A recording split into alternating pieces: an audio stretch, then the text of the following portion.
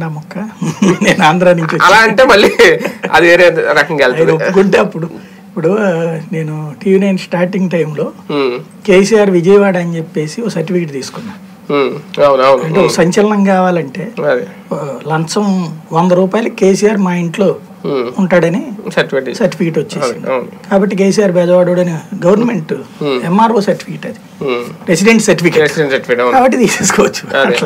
ఉమ్, అంత మాత్రం అయిపోదు కదా. బేసిక్గా ఎందుకంటుంటారంటే అక్కడ వెలమలు ఉంటారు. అది వీళ్ళ క్యాస్ట్ పరంగా అది కాబట్టి. చుట్టరేఖలు ఎక్కడ ఉంటాం. ఇంకోటి. ఆంధ్ర తెలంగాణ అంటే విడేనేది ఇప్పుడు వీళ్ళు తీసుకొచ్చి నిద్దప్పించి ఇంతకుముందు కలిసే ఉంది కదా. తెలిసినే ఉన్నది. ప్లస్ ఇంకోటి తరతరాల నుంచి కూడా తెలుగు వాళ్ళు మొత్తం మనం. తమిళనాడులో కూడా ఉన్నాం. ఉమ్, కర్ణాటకలో ఉన్నాం మనం. ఉమ్, ఇప్పుడు కర్ణాటకలో విడిపోయినటువంటిది ఏంటి? మహారాష్ట్రలో విడిపోయిన పార్టీలు ఏంటి? ఉమ్, మనయ్యే కదా.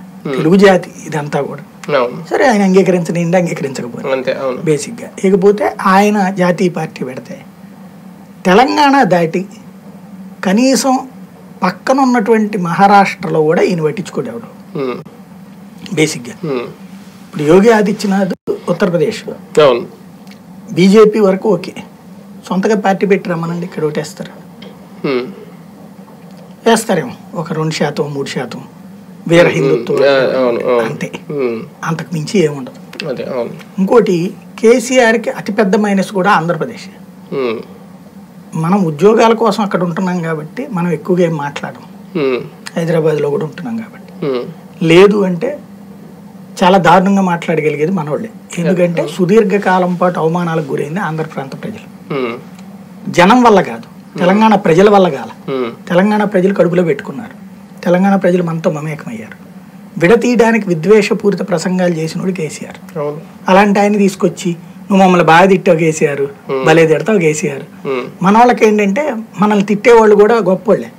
సో ఆయన పేరేంటి? సరార్దర్ కాటన్ కూడా మనం పూజ చేస్తాం.